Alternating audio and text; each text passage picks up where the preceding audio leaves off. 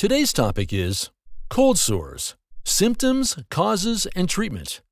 Cold sores are those irritating little ulcers that show up and appear to wait all the rage. They are brought up by the common and exceptionally infectious herpes simplex virus that many of us get in our childhood. What is a cold sore?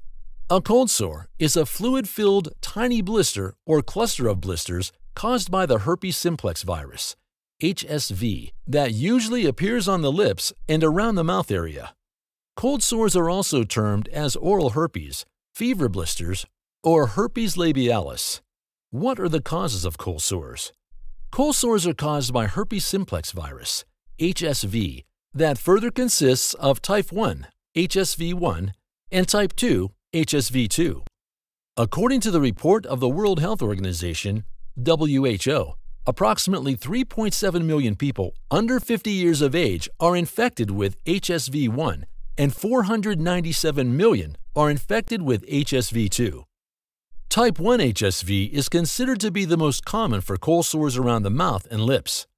HSV1 is highly contagious and spreads through close contact. The virus transmits through saliva and sharing utensils, straws, lip balms, and kissing someone who is suffering from a cold sore. Its mode of transmission is partially responsible for its trait of a common infection. HSV1 and HSV2 can spread through mouth to mouth and mouth to genital contact during sex and cause genital herpes as well, for instance, in oral sex. What are the symptoms of cold sore? Cold sores are probably going to appear on the outer side of your mouth and lips. You can likewise get them on your nose and cheeks. Cold sores have their stages. Number 1. At the very beginning, it's just a burning, itching, or tingling feeling. Number 2.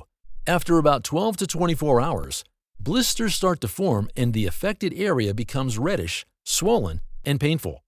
Number 3. During the weeping phase of 2 to 3 days, the blisters break open and ooze clear fluid that is slightly yellow in color. Number 4. Once the fluid is all out, scab formation occurs. Number 5.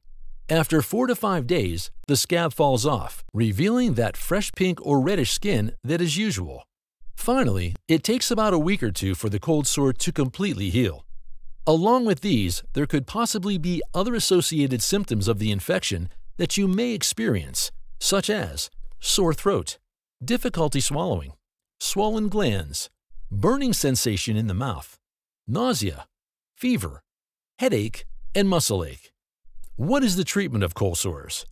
There is no certain cure prescription available for cold sores. Like every other typical viral infection, it stays in your body for a certain time period and leaves according to its own wish after its stay time is over in a week or two. Since it is a viral infection, some over-the-counter antiviral and anti-inflammatory medications can help to ease the symptoms and speed up the healing process. Pills that your doctor may prescribe you to swallow famciclovir, Famvir, acyclovir, Zovirax, or valacyclovir, Valtrex.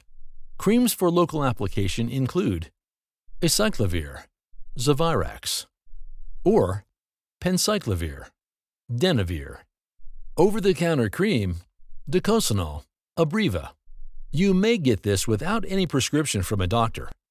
If none of the above treatment is working for you, your doctor may give an intravenous IV antiviral medication, foscarnet, foscavir, or cidofovir, Vistide. Some home remedies may help you ease the symptoms like cold compress, painkillers like ibuprofen or acetaminophen lip creams or balms to lock in the moisture. Avoid acidic foods like tomatoes, oranges, lemons, etc. Thank you for watching our video. Please do not forget to like and share the video. Also, please subscribe to the channel to stay updated on our latest videos.